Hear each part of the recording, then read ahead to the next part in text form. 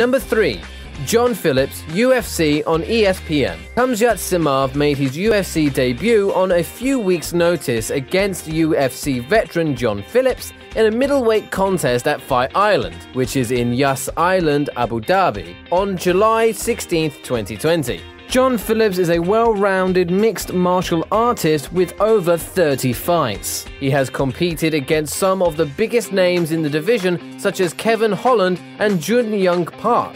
Chimaev was a late replacement for another UFC prospect, Dusko Todorovic, who fell off the card due to a medical issue.